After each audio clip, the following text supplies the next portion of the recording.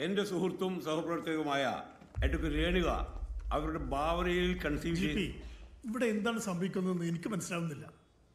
As per D N A report ഈ skeleton വരേണ്ടതല്ല. തോന്നലാവാം. എന്നാലും അതല്ലല്ലോ. എവിടെയോ വെച്ച കണ്ട പരിചയമുണ്ട്. ഉം. ഇത് രണ്ടിനു മുമ്പ് ഞാൻ വേറൊരു കല്യാണം കഴിച്ചത് ആരെ?